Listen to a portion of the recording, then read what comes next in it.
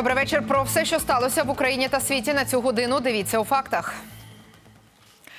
Київ з 5 квітня посилює карантинні обмеження. Громадський транспорт, зокрема метро, возитиме лише пасажирів за спеціальними перепустками. Їх видаватимуть тільки працівникам підприємств критичної інфраструктури. Найперше всім медикам, працівникам житлово-комунальної сфери, правоохоронцям, надзвичайникам і працівникам тих стратегічно важливих підприємств, від яких залежить життєдіяльність мегаполіса. Як видаватимуть перепустки чи проїзні, має вирішити комісія. Вона збереться завтра. Садочки і школи в Києві закривають повністю. Всі підприємства та установи мають максимально відправити співробітників на дистанційну роботу або кому можливо надати відпустки. Такі суворі обмеження діятимуть з 5 і щонайменше до 16 квітня. Такі заходи вимушені, заявив мер столиці Віталій Кличко. Київ раніше запровадив обмеження, однак це не допомагає. Хоч би скільки ліжок додавали, хворих дуже багато. Медики не справляються. За добу 35 смертей, 1100 інфікувань. Лікарні заповнені вже на 80%, та майже 4,5 тисячі недужих і більшість на кисневій підтримці. І, на жаль, навіть черги швидких людей не лякають. Вони нерідко ігнорують карантинні норми. Люди не чують закликів берегтися. Тобто тенденція на поліпшення ситуації в нас зараз немає. А от до погіршення і колапсу медицини така тенденція, на жаль, є. В нас немає іншого вибору. Інакше будуть сотні смертей щодня. І слова мера Києва, на жаль, справджуються в Україні рекорд смертності від ковіду. 407 людей за добу. Госпіталізовано понад 5,5 тисяч. За день додалося більше як 11 тисяч нових інфікованих. Серед них півтисячі дітей та понад 300 медпрацівників. Серед лідерів за темпами заражень Одещина. Завчора понад тисяча випадків. 18 людей померли. Статистика не спадає попри запроваджену червону зону. В області вільні лише 16% місць у ковідних лікарнях. Причому частіше хворіють молоді люди. Детскую заболеваемость, она выросла на 43%. Если мы возьмем э, взрослое население, то най- наиболее уразливая группа является 18-29. Здесь заболеваемость выросла э, в два раза. Вже третій тиждень не вщухає ковід на Львівщині. За останню добу недугу діагностували понад восьми сотень пацієнтів. Тут теж хворіє дедалі більше дітей. Лише у місцевому Хмадиті 33 маленьких пацієнти. У всіх перебіг недуги важкий і середній. Місто планує розгорнути 100 додаткових ліжок у дитячій лікарні. Найчастішими ускладненнями, які ми спостерігали за цей весь період, перше це було цукровий діабет і важкі двобічні полісегментарні пневмонії, поліорганні недостатності. Е, Завчас е, дуже часто це були септичні ускладнення. На Харківщині за добу понад 900 заражень, 22 людини померли. Це найбільше за час пандемії. Серед жертв двомісячне немовля, яке привезли із Донеччини. У малюка були серйозні вади серця. Під час лікування виявили ковід. Це вже друга смерть дитини з коронавірусом на Харківщині. Дитяча інфекційка на 140 місць заповнена вщерть, а у лікарнях для дорослих бракує ліжок із киснем. Місця закінчуються навіть у районах. У Первомайському на кисневій підтримці 45 людей. У реанімації на 6 ліжок 10 пацієнтів. У лікарні Харкова госпіталізують лише якщо хтось одужав або помер. Количество кислородных точек на этой неделе вот выросло, если мне память не изменяет, на 56 в инфекционке, но практически сразу ее, за- их э, заняли люди, которые лежали до этого на концентраторах. Різкий стрибок захворюваності на Рівненщині. Завчора 600 нових випадків. 11 людей померло, зокрема 28-річний чоловік. До лікарень потрапила сотня пацієнтів, третина у важкому стані. У трьох ковідних закладах місць майже не залишилося. Наближається до червоної зони Дніпропетровщина. Найбільше хворих у самому Дніпрі. Госпіталізацій критично багато. Зараз на кожного пацієнта, який захворів, хворіють практично всі контактні з ним особи. Новий британський штам він дуже контагіозний і велика кількість осіб хворіє в оточенні. Тим часом на Буковині, Прикарпатті і Закарпатті, що вже кілька тижнів у червоній зоні, ситуація дещо стабілізується. Але послаблювати обмеження зарано, кажуть фахівці. Тим часом у Черкасах від завтра карантин у школах. Старші класи навчатимуться дистанційно. В області теж більше хворих. Напередодні заразилися майже 400 жителів. Ситуація погіршується майже по всій країні. У МОЗ прогнозують. Кількість хворих, як і госпіталізації, зростатиме найближчі два тижні. Мирослава Прокопюк, Назар Бурхан, Тетяна Доцяк. Факти ICTV. Протягом квітня-травня Україна має отримати майже 5 мільйонів доз вакцин в рамках вже підписаних угод. Про це повідомив міністр охорони здоров'я Максим Степанов. Крім того, потенційно в нас ще є щонайменше півтора мільйона доз вакцини, які ми повинні отримати. Це наші домовленості з Європейським Союзом. Мільйон доз вакцини від Pfizer Україна отримає в рамках механізму COVAX. Їх поставлять частинами до кінця червня. Про це повідомив головний санітарний лікар Віктор Ляшко. Загалом від COVAX Україна має отримати 8 мільйонів доз. Втім, деякі країни нині блокують експорт попри підписані контракти. Росія фінансувала дискредитацію щеплень в Україні. Спеціальну ботоферму викрила СБУ. Організували її четверо чоловіків з Хмельницького. За російські гроші боти створювали фейкові акаунти у соцмережах та поширювали неправду про вакцинацію, а також підтримували самопроголошені ДНР та ЛНР. Кіберфахівці СБУ заблокували ферму, вилучили обладнання та кілька сотень сім-карт. Зловмисникам загрожує штраф, громадські роботи або обмеження волі до двох років. За добу в Україні щепили понад 18 тисяч людей. Загалом від початку кампанії вже більше як 230 тисяч українців отримали першу дозу препарату від AstraZeneca. А от у Польщі до літа планують вакцинувати всіх охочих і хочуть вийти на 10 мільйонів щеплень на місяць. Як світ бореться з коронавірусом, дивіться далі. У Польщі понад 32 тисячі випадків коронавірусу за минулу добу. З суботи протягом двох тижнів в Україні діє жорсткий карантин. А від учора польський уряд посилив обмеження для осіб, які прибувають із-за кордону. Для тих, хто приїжджає країн, що не входять до шенгенської зони, обов'язковий карантин. Однак у разі тесту на території Польщі і отримання негативного результату людина може вийти з карантину. Уряд країни планує робити 10 мільйонів щеплень від коронавірусу за місяць. До кінця літа хочуть вакцинувати усіх охочих. З квітня проводитимуть щеплення у компаніях, де таке бажання висловлять принаймні 500 працівників. Від грудня в Польщі вакцинували вже 6 мільйонів людей. Пункти вакцинації хочуть облаштувати в аптеках. Ми маємо використати усі можливі ресурси, щоб процес не зупинявся ні на жодну секунду. Пришвидшення імунізації населення має початися вже тепер. Італія також запроваджує карантин для тих, хто прибуває в країну. Подорожуючи з країн ЄС, мають пройти обов'язковий п'ятиденний карантин. По закінченню цього терміну треба також здати тест. Я думаю, що це правильний крок. Так, це може трохи незручно, але має дещо стримати поширення вірусу. Pfizer розширює потужності у Німеччині та прискорює виробництво вакцини через шалений попит на препарат. Розробляючи його, компанія планувала, що випускатиме по 700 мільйонів доз на рік. Тепер хочуть вийти на мільярд. Водночас уряд Німеччини напередодні оголосив, обмежить використання британсько-шведської розробки AstraZeneca для людей віком до 60 і представників груп ризику. Вони зможуть отримати ін'єкцію AstraZeneca, але на розсуд лікарів після індивідуального аналізу ризиків та докладного пояснення. Таке рішення ухвалили на нараді міністра охорони здоров'я, керівників регіонів і представників уряду. Але ми також знаємо, все, що стосується вакцинації, ґрунтується на одному принципі: це довіра. Ми повинні отримати змогу довіряти вакцинам. Ось чому ми чекаємо, поки кожна вакцина повністю пройде процес повної перевірки та схвалення. Уряди країн посилюють карантинні обмеження, щоб стримати епідемію. Та людям з настанням весни важко всидіти у чотирьох стінах.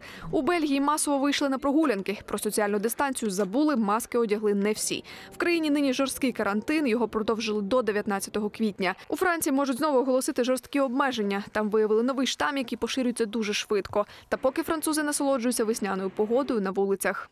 Люди мають право гуляти та повинні дотримуватися правил групи не більше шести людей і дистанція.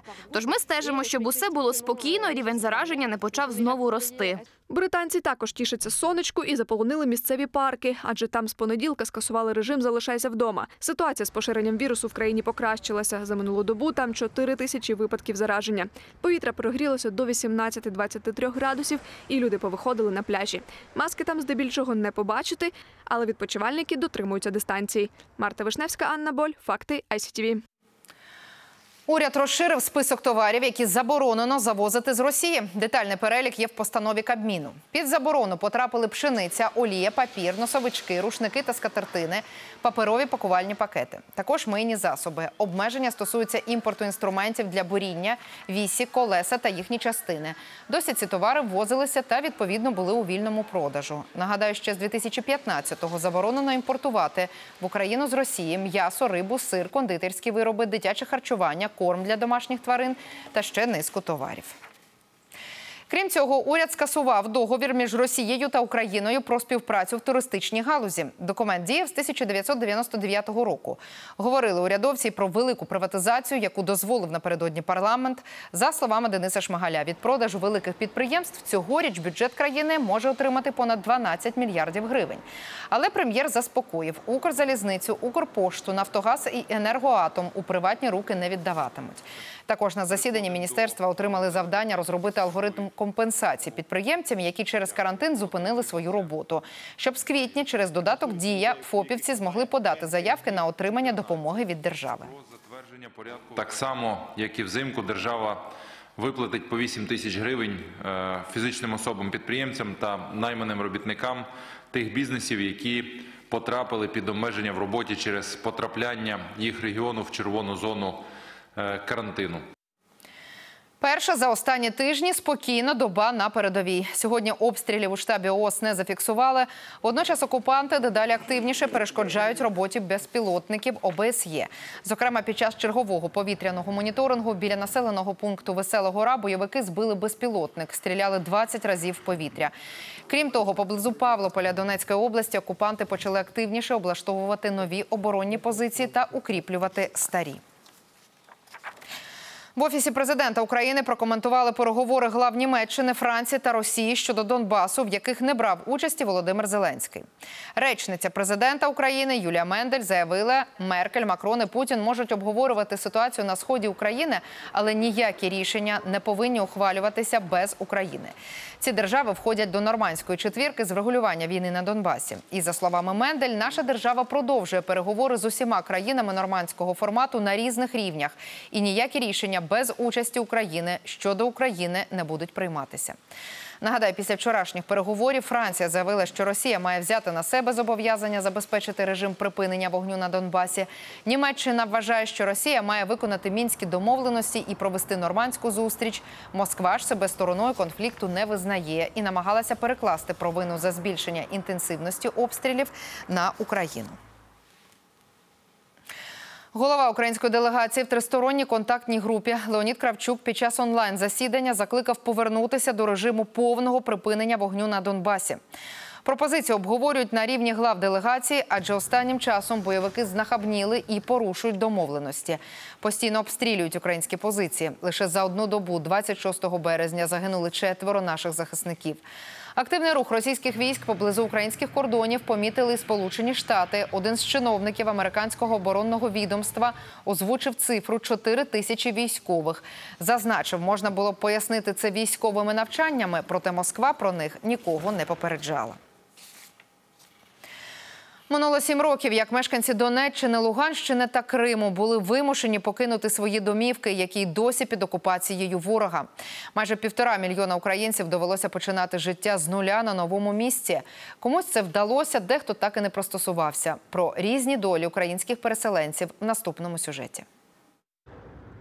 У Харкові в модульному містечку вже понад шість років мешкають зо дві сотні переселенців з тимчасово окупованого Донбасу. Термін експлуатації житла, побудованого на кошти німецьких благодійників, сплив ще три роки тому. Будиночки розсипаються на очах, однак цим людям просто нікуди їхати. У пані Ірини п'ятеро дітей і 14 онуків. Влітку 14-го тікали з Луганщини, яку обстрілювали бойовики. У чому були? Навіть не встигли зібрати валізи. Когда началась ночью сильная стрельба, мы сразу собрались и утром решили уехать. Вот. Даже еще на границе стреляли. Мы сняли вначале ж- жилье однокомнатную на всех. Представляете, дети спали на диванах, мы на полу. Взимку 15-го переїхали в модульне містечко. На велику родину виділили чотири двокімнатні будиночки. Малесенькі, ніде й розвернутися. Відтоді тут так і живуть. Мало что пластик расходится, вот швы расходятся и течет вода с потолка, то приходится вещи развешивать вот так, детские, свои, сюда прятать, прикрывать. Старші сини знайшли роботу у Харкові, заробляють приблизно 10 тисяч гривень на місяць. Отримують допомогу й на дітей. Однак, за словами жінки, зібрати на власне помешкання нереально. В окупованому Свердловську на Луганщині лишили 5 квартир. Продати їх неможливо. Про повернення додому, доки там орудує ворог, не може й бути й мови, каже Ірина. А надії на те, що держава забезпечить житлом, щодня дедалі менше А на уровне государства пока никакой помощи. Я считаю, за 7 лет нужно было бы подумать о компенсации, кто потерял жилье, имущество.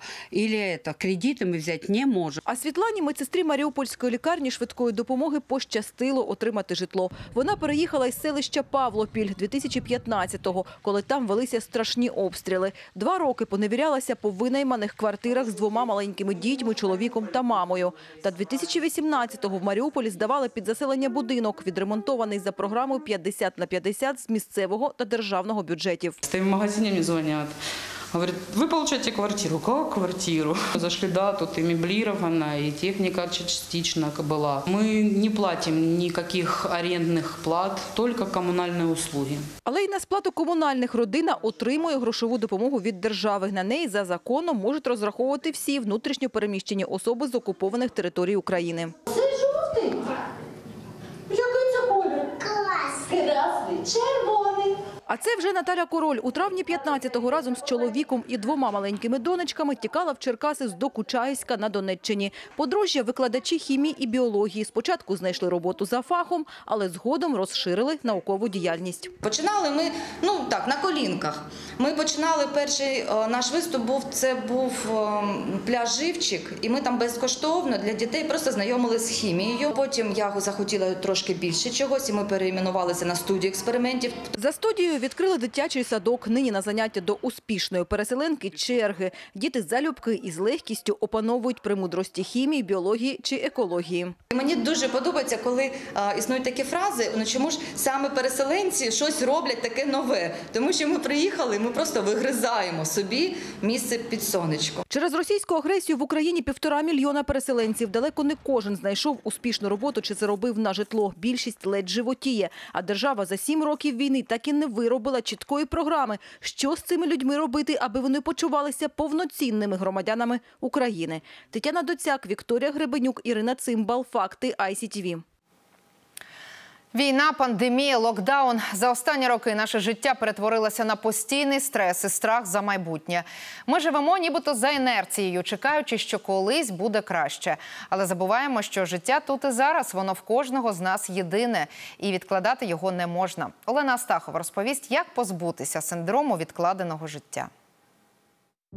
Третій локдаун, і в багатьох українців знову посилюється бажання відкласти свої прагнення на потім. Це ознаки синдрому відкладеного життя. Звучит это примерно так. Вот э, закончится карантин, тогда я что-то там начну делать. Вот э, пройдет вакцинация, и тогда у- жизнь начнется. У психології цей термін з'явився півстоліття тому, що до людей, які їхали заробляти гроші на північ радянського союзу, років так на 25. Эти 25 лет это будет тоска, тащища. Ничего не буду вообще делать, только зарабатываю. А вот потом, ну и часто мы понимаем, что они не доживали до того времени, когда вот этот прекрасный а потом наступает. У такій ситуації опинилися нині люди по всьому світі, зокрема і в Україні, і надії на прекрасне майбутнє нічим не підкріплюються. кризисы накатываются один на другой, что какие-то сложные ситуации еще больше в мире усложняются, и если мы будем откладывать, то можем ничего хорошего не успеть.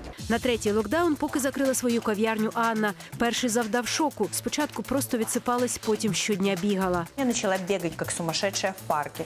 Зрештою, зрозуміла, жити треба тут і зараз. Я отпустила эту ситуацию и сказала так, жизнь она одна, нам нужно что-то придумать. Мы начали смотреть интересные сериалы, мы начали искать какие-то интересные книги. Я начала больше общаться с ребенком. Другий локдаун узимку Анна перехитрила. Поїхала з донькою у чудову подорож Занзібаром.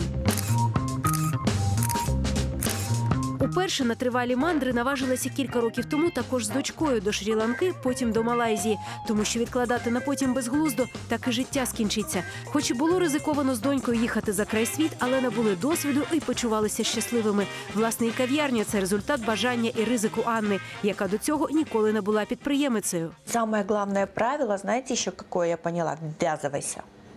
Вот если ты что-то хочешь, начинай и делай. И если ты это делаешь вот с какой-то такой душой, с каким-то огромным желанием, я не знаю, появляются какие-то ресурсы. Відкладати здійснення своїх бажань схильні люди інфантильні, які не хочуть брати відповідальність за своє життя, каже психолог. Если больше пяти лет мы откладываем какую-то значимую для себя вещь, то мы начинаем отказываться от желания от своих. А когда человек отказывается от вот этого заветного какого-то желания, он э, впадает в депрессию, у него начинается апатия. Аби до цього не дійшло, Анна і робить те, чого прагне, а не відкладає життя на потім. І радить іншим почати з найпростішого – просто вийти на прогулянку чи сісти навмання в маршрутку і проїхатись містом.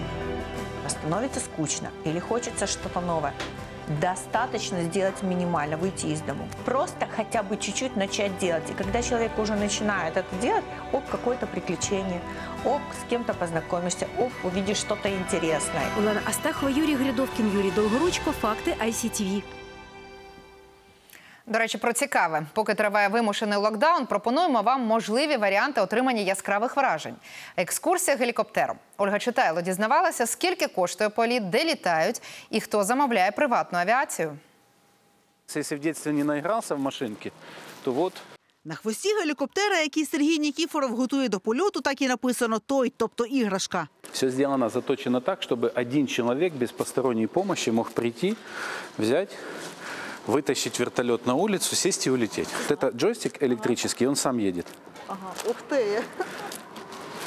За кілька хвилин ми на ньому здіймемося в небо, а поки повертаємося в ангар, де стоять вертольоти. У нас базируется больше 10. Это мой первый вертолет, но так получилось, что я его брал новым, и я им владел всего не две недели. Сергій – власник геліпорту «Київ Челендж». Тут можна купити вертоліт, залишити його на зберігання, обслуговування, заправити, навчитися літати і орендувати машину чи замовити екскурсію. Сам він літає із 37 і каже, для нього це свобода. Два часа я в Одессе, там три с хвостиком, я в Карпат. Мы не продаем вертолеты, мы продаем свободное время. Свобода в повітрі дорога, тому купівлю літального апарату у нас переважно не афішують. Найдешевший вертоліт – 200 тисяч доларів. Якщо не вмієш літати, готуй 5 тисяч доларів на місяць заплатити пілоту. Якщо орендуєш година 800 доларів, якщо маєш ліцензію пілота, купив вертоліт, то платиш тільки за пальне і година польоту вже коштуватиме 200 доларів. Курси пілота тривають кілька місяців, ліцензію видає Украерорух.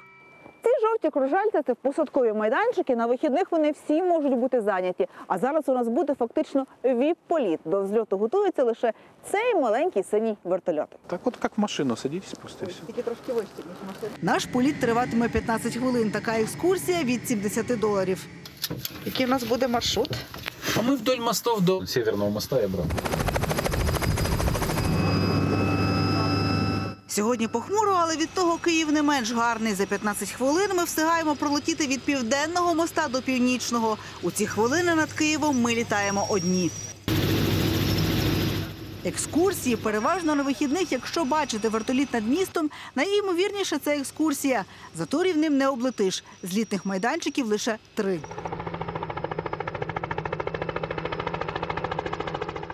Під час карантину попит на польоти зріс і серед туристів, і серед бізнесменів.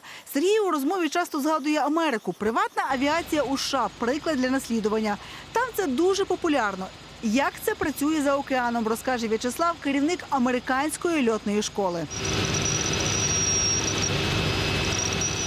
Каже, у США літальні засоби теж розкіш, але доступніша, ніж у нас. Пандемія лише робить їх популярнішими. Мы видим больше э, врачей, IT, э, то есть ребята, которые заним- хотят заниматься этим э, как-то хобби. Американцы готовы на- за это платить, и они вот верят, что вот свобода, оно вот именно в этом. Что мы можем передвигаться, и никто это не закрывает, никто не запрещает, то есть это достаточно свободно.